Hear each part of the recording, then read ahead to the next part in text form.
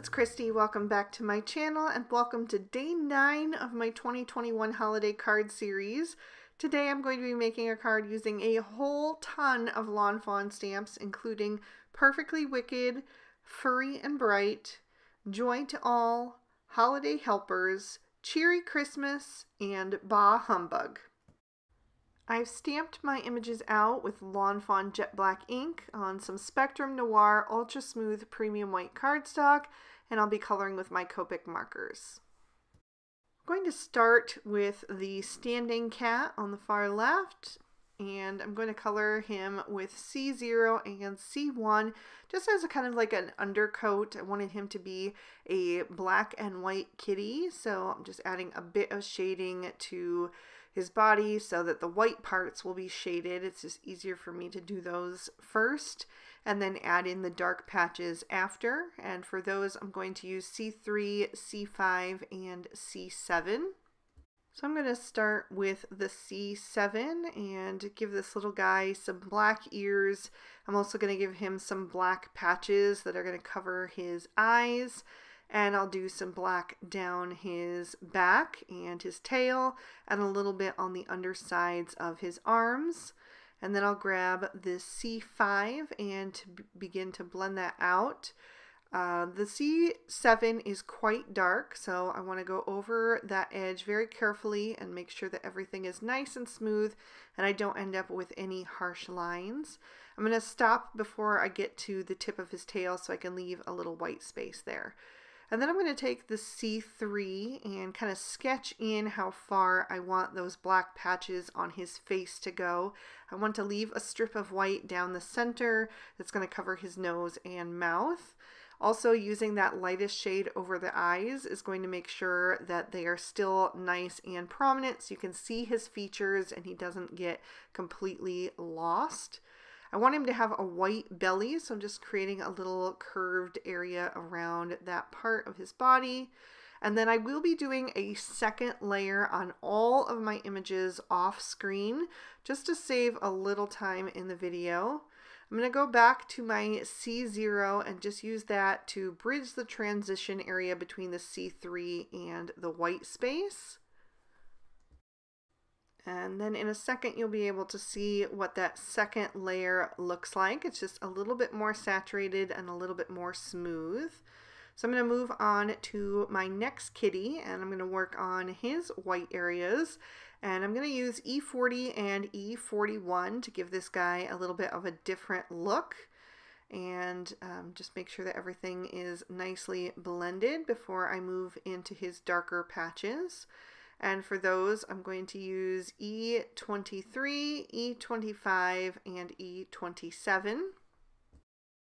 So I'm taking that E27 and mapping out the areas of the body that I want to be brown.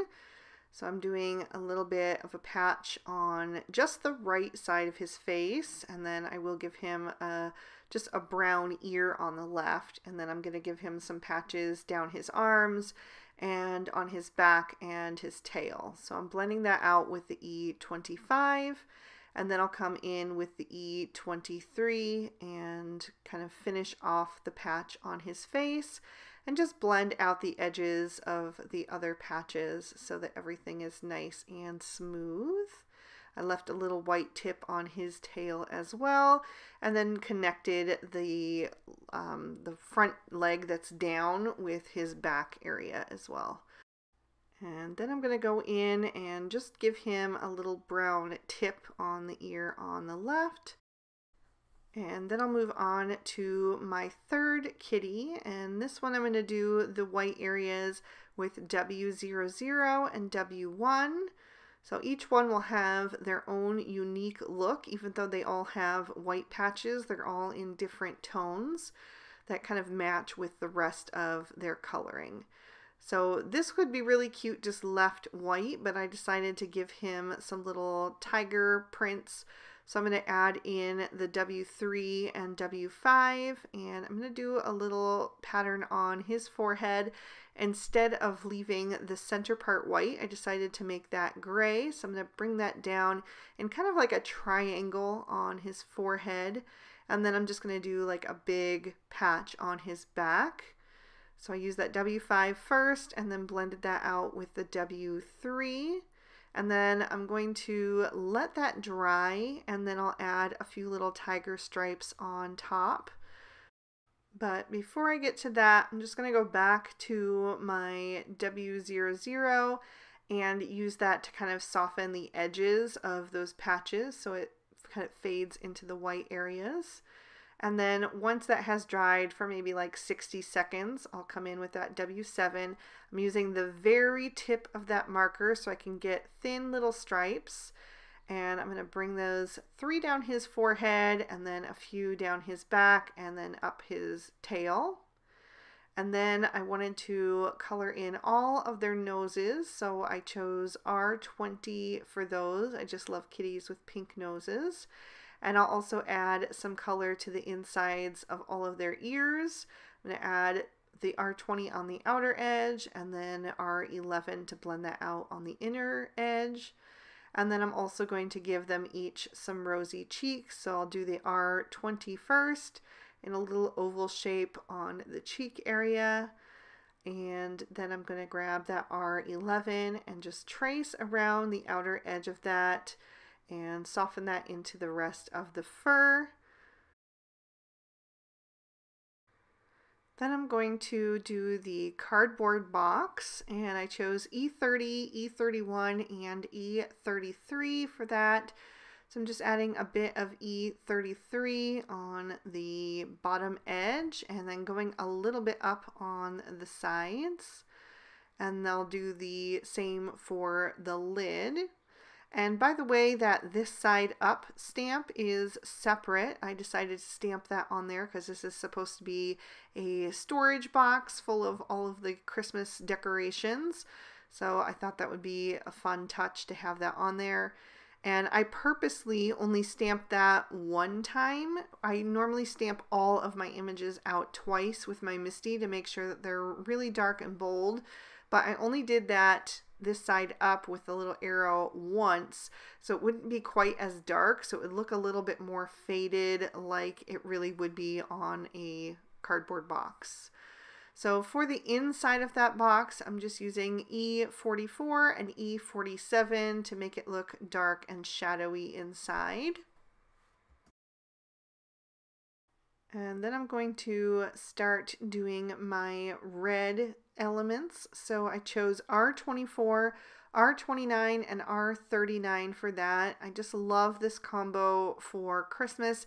It is the perfect Christmas red. It's got those darks with the R39 and then the R29 is like just the most gorgeous, perfect red. And then the R24 has just a bit of brightness to it. So it really just makes things almost glow.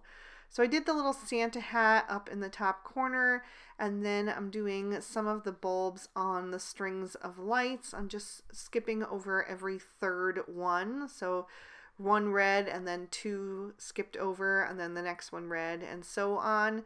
And just picked a different place to start on each of those strands so that they wouldn't all have a red bulb at the end. So I'm going to just fill those in with those three shades, doing those all at once since they're really small. And then I'm going to continue with some of my other images. Since there's so much going on in this scene, I decided to keep my color palette relatively simple. Aside from the neutrals with the cats and the box, I'm just going to have three colors going on in this scene. It's going to be red, green, and gold. So I'm doing one of the gifts with a red bow and then another one of the gifts with the red wrapping paper. Since there's three gifts, I can alternate those colors for each of those items. And I'm just making sure to add a little shading at the bottom of the box and then also on the bottom edge of the lid and then a little shadow underneath the bow. So I did pull off the other end of my R29, just removing that cap because it looked like it might get a little leaky on me. So that kind of just staved off any issues. So I'm just finishing up here with two more items. I'm going to do one of these ornaments to be solid red And then the one right next to it, I'm going to do the center stripe in red. So I just put the shading on the right and the highlight on the left, just like I did with the ball. And then I'm going to move on to my gold combo. And for that, I chose YR20, YR21, and YR23. So I'm going to start with the strands of lights and with that YR23, I'm just going to do the bulb that is to the right of the red. So wherever the red is, I'm going to follow that with a gold.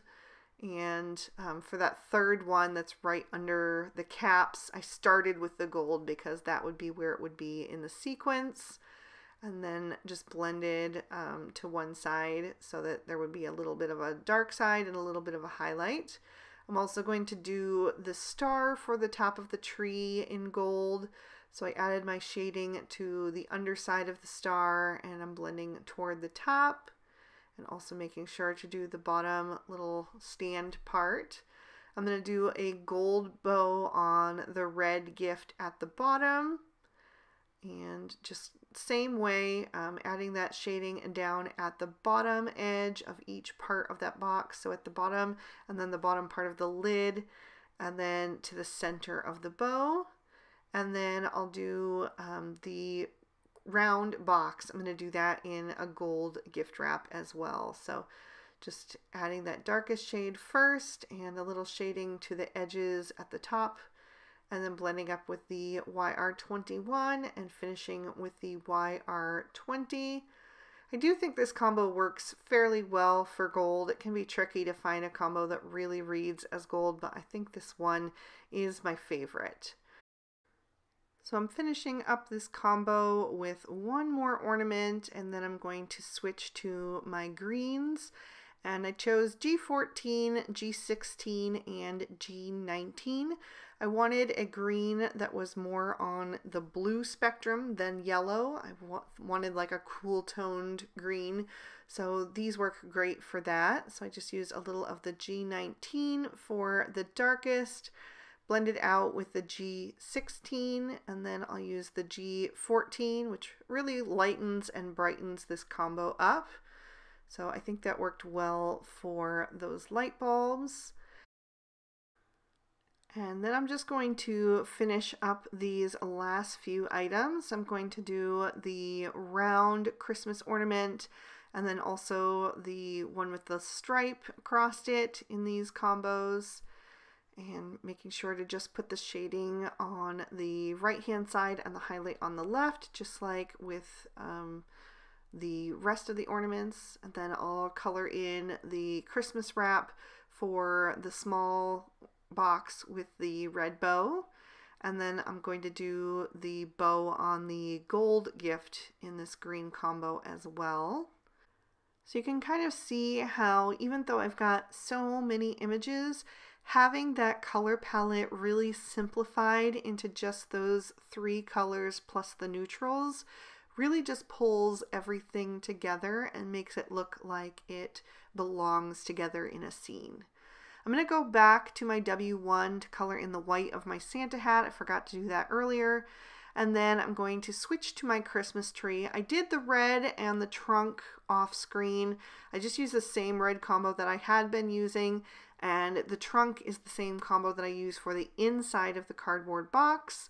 So for the tree, I wanted to do um, a different tone since I had the blue greens going on with the rest of the ornaments and things, I wanted to do a little bit more of a yellow green. So I'm doing a base layer of the entire tree with YG05, just starting at the bottom edge and flicking up toward the top. And then I'm actually going to flip this image upside down. I just find it easier to flick that way.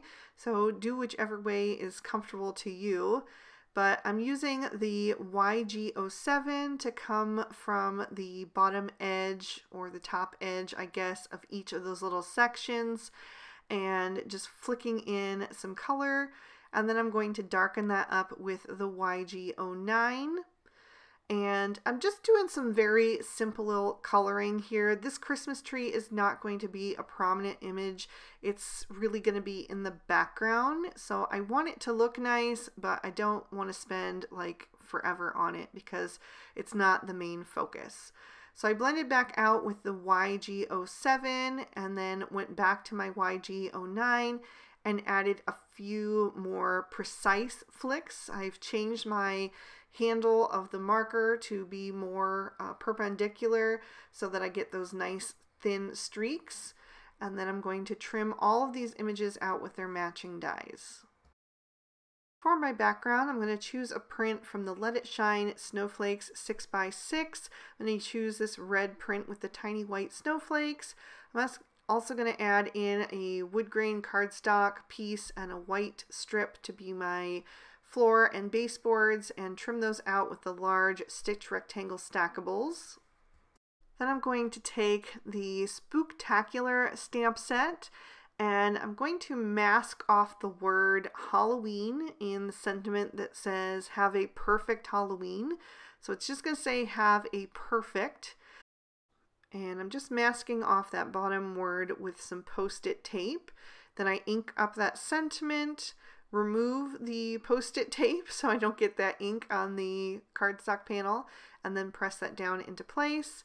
And then I'm going to take the word Christmas from Baaah Humbug, and that is almost the exact same font as the word Halloween was. So I stamped that down in some lobster ink and masked off the rest of that sentiment as well. Then I took one of the flirty frames and lined that up right over top and I'm going to ink that up and stamp that down so it'll kind of look like a picture frame. So I'm just using my Twiddler's Nook uh, pressure pal to make sure that I have a good impression and then I will color that and die cut that out. And in the meantime, I'm going to stamp an insert for the inside of my card and I'm using Warm Winter Wishes plus a little um, scarf from Baaah Humbug. And then I'm going to do a lazy mask and um, add this little cat from the Spooktacular stamp set once again because I had already used all three of the cats from the Purrfectly Wicked so I wanted a different cat and since I was already using this stamp set I just decided this one would do. So I stamped him out but um, it did kind of cut off his front foot there so to hide that, I'm actually going to add a little gift right in front. And it didn't cover it up completely, but it makes it a little bit less noticeable that that foot is missing. So I'm going to start assembling now that I have all of my pieces together. I'm using a piece of chili pepper cardstock from Lawn Fawn as my card base and I just scored and folded that to a standard size card with a top fold. So it's four and a quarter wide by five and a half tall. I'm going to glue my pattern paper to cover the entire front of that. So that's going to be my wallpaper. And then I'll add the wood grain piece for the floor and the white strip for my baseboard. I've been doing this quite a bit this holiday season just because it makes such quick and easy inside scenes. Um, I just really love it. And especially when you just really want the focus to be on the images, this really just kind of fades into the background and it's just so quick and easy to do. So I did cover up quite a bit of that red cardstock. I probably could have trimmed that down and saved the bottom half of it, but I didn't think of it at the time. And then I'm going to put that Christmas tree over on the right hand side close up to that baseboard because I need a lot of room down in front for all of my little cats and all the mischief that they are getting into. Then I'm going to work quickly to get this little picture frame down for my sentiment on the left. I had to tuck it back behind the tree, so I needed to work quickly because that liquid glue does dry very fast. Then I'm going to take the standing cat and insert him down in the box. I did use the little die that comes with the Holiday Helpers stamp set to die cut the opening into that box so that I could slide him in and I'm going to place him in the center of my scene. He's kind of like the main image. So I've got him and then I've got the little lid So I'm going to figure out how I want to position that and then I'll glue that down before that glue dries as well. Then I'm taking the little tiger cat and I'm gluing one of the strings of lights to kind of wrap around her body. So this string of lights is from Cheery Christmas and I like this one because you can wrap it around a lot of things. So I'm going to have her kind of tangled up in that strand because these kitties have gotten into the holiday decorations and are kind of making a mess of things. But as um, I've been told by many cat owners that that is uh, something that cats like to do. So then I'm going to take these three gifts and adhere those down in the background. Uh, there was a lot of space between the top of the box and that picture frame that forms the sentiment. So I want to fill that with some gifts. So I'm going to put two over on the left hand side and then one over on the right to kind of fill in some space over there as well. So I'll just have that smaller gift overlapping the circle gift. And then I'm going to take the little string of lights. This one is from Furry and Bright and I'm going to add that kind of in the hands of the kitty in the box because she's kind of um, pulling out all those strands that everybody else is getting all tangled up in.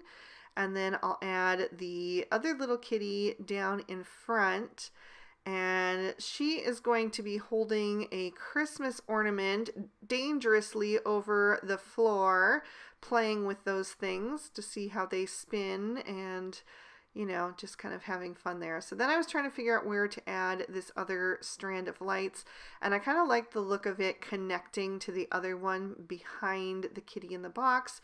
So I'm just going to tuck that over there as if it's like one long string. And then I have the star for the tree, and I'm going to add that right up at the top. And then there's just a couple more little things here. I have the Santa hat. That's going to go on the kitty in the box since she's our main image. So I'll just pop that on her head. And then I have the last three ornaments. I decided to put two on the tree to make it look as if somebody had been trying to get these decorations up and perhaps the kitties have knocked some of them down. So I definitely wanted to have one of the ornaments on the floor. I couldn't decide which one to do, but I didn't want the green one right next to the green ornament that was in the kitty's hand, so I decided to put that one on the tree and then the gold one on the floor, kind of in that empty space in the middle there. And then of course I had to add a bit of sparkle, so I grabbed my favorite Stardust Stickles and I'm going to add some of that to the star on top of the tree and to the ornaments as well. And this bottle seems to keep getting clogged, so I just used a pin to kind of clear that out and then um, squeeze that out again and I'm going to add it to uh, the white of the Christmas hat and then also to all of the bows on the gifts. I'm going to add it to each of the light bulbs and make them sparkle a little bit too. So just real quick and easy going across all of the ones that are exposed. And then I'll add it to the little gold ornament and the stripe on the green ornament. So I will pick that up to the camera so you can see how that catches the light. And I'll give you another peek at the inside. So I hope you guys have enjoyed this one with these naughty Christmas kitties. If you did, please be sure to hit that like button and subscribe. Ring that notification bell so you don't miss any future videos. Post new ones every Monday and Friday. If you're interested in any of these products, you'll find them listed and linked in the description bar below. And if you'd like to check out day nine of the previous two years of Holiday Card Series, those are on screen right now. You can click on either one to check them out. Thank you guys so much for watching. I hope you have an amazing day. Bye-bye.